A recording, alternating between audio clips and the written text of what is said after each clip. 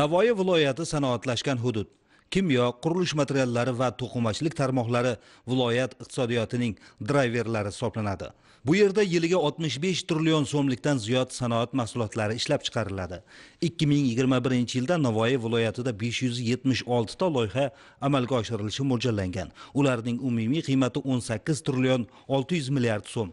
Sohalar kesimida aytganda loyihalarning 200 tasi sanoat 179 tasi xizmat ko'rsatish 197 tasi qishloq xo'jaligi tarmoqlarida. Bularning natijasida qariyb 18 trillion so'mlik ishlab chiqarish quvvati tashkil etilib 16 mingta ish o'rni yaratiladi.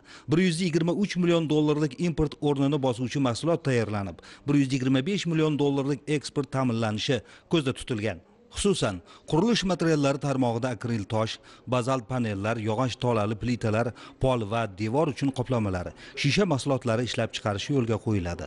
Misol uchun zarafshon shahrida oyna korxonasini shu yil dekabrda ishga tushirish rejalashtirilgan.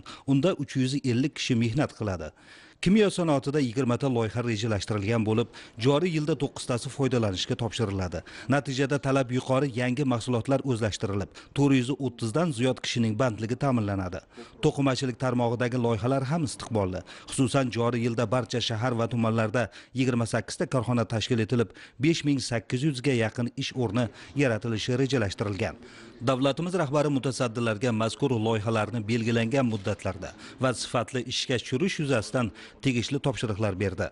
Prezidentimizning 2017 yil 2 maydagi qarori bilan 2017-2021 yillarda gidroenergetikani yanada rivojlantirish chora tadbirlari dasturi ma'qullangan edi.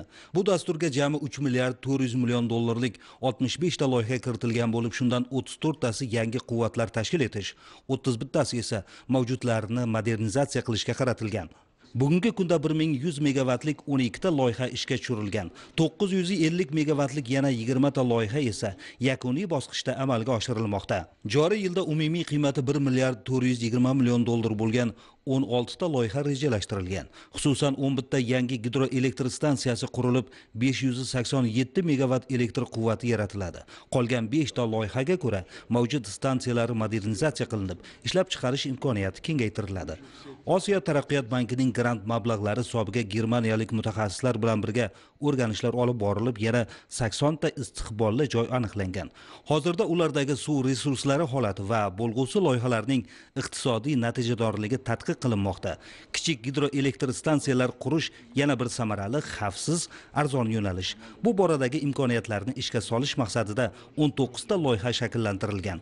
Bugungi kunda samarqand va jizzax viloyatlarida shundan 7 tasi ishga tushirilgan. Taqdimotda sohani transformatsiya qilish bo'yicha amalga oshirilayotgan ishlar haqida ham ma'lumot berildi. Prezidentimiz taqdim etilgan loyihalarning ahamiyatidan kelib chiqqan holda ularni takomillashtirish amalga oshirishda sifatni ta'minlash yuzasidan zarur ko'rsatmalar berdi.